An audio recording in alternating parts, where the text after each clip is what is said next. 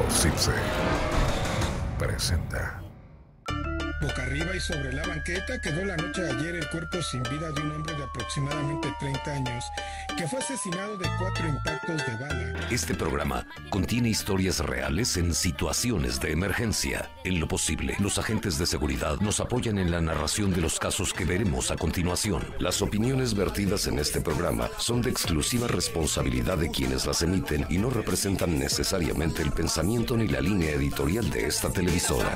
vive despierta, ley no se cansa, la policía me sigue, desde que me buscan la paranoia me persigue, con fusil en mano investigan el ataque, Noticias el reporte policiaco, prende tu televisor y entérate a detalle, porque es que se dice que el diablo ronda por la calle, la nota del siniestro, el rescate del secuestro, se sigue el caso, se sabe que el delincuente es diestro, el estudio del ADN nos arroja que el sujeto vive del asalto y bajo los efectos del cemento, atropellaron a Beto por un camionero insensato que lo remató que porque muerto sale más barato, muchacho. Ahora en qué problema te metiste, se te acusa de cómplice, ¿a qué se debe que asististe? Si tú no participaste, dime todo lo que viste.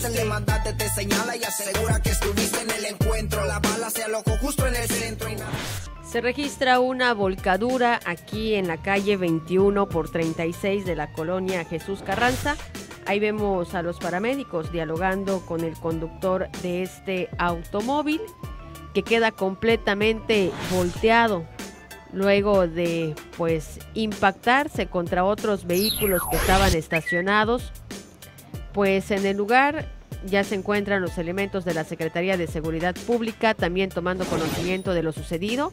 De acuerdo a la información, este joven que vemos en pantalla que tiene y trae la gorra, pues estaba conduciendo en estado de ebriedad, completamente en estado de ebriedad, a una velocidad fuerte. Y pues al intentar incorporarse a esta vía, pues queda en estas condiciones. Vemos las placas YWN 990A, que pues este automóvil choca a estos otros vehículos que vemos ahora en pantalla, que estaban estacionados y pues resultan con estas afectaciones, todo por este conductor pues que manejaba en estado de ebriedad. En el lugar, como bien les decíamos, ambulancia de la Secretaría de Seguridad Pública, la Yankee 14, ya está aquí en el sitio. Los paramédicos también atendiendo a esta persona que resultó con algunos golpes luego de haberse volcado aquí en la colonia Jesús Carranza, la 21 por 36. Ahí vemos igual a las personas que salieron a auxiliar a este joven, bomberos de la Secretaría de Seguridad Pública también, todo para poder sacar a este, a este muchacho, a este conductor. Ahí vemos a otro auto de ese costado que quedó también con algunas afectaciones. Les decíamos, conducía por esta vía. Ahí vemos las marcas del automóvil. Vemos a esta otra camioneta también que la parte delantera terminó afectada. Todo por conducir bajo los efectos del alcohol. Pues le cobró, le cobró una factura muy grande a este, a este joven, a este muchacho, que estaba dialogando con los paramédicos. Sin embargo, pues, debido a que todavía estaba pues bajo los efectos del alcohol, pues con trabajo, con trabajo se le entendía y con trabajo podía hablar.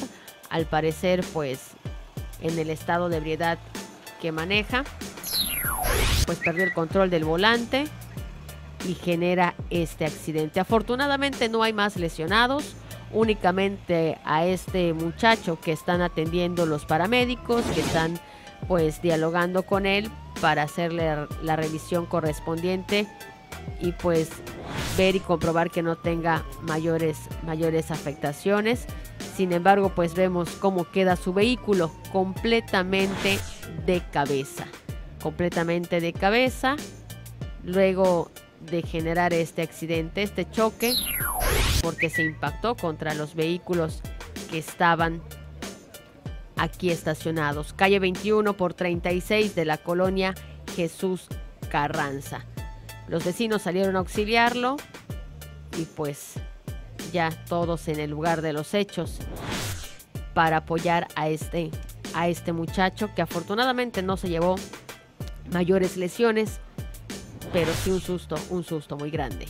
Con imágenes de mi compañero Omar Canul para SN Policiaco, Gretelman. Muchacho, en qué problema te metiste, se le acusa de cómplice, ¿a qué se debe que asististe? Si tú no participaste, dime todo lo que viste, el demandante te señala y asegura que estuviste en el encuentro, la bala se alojó justo en el centro y nada.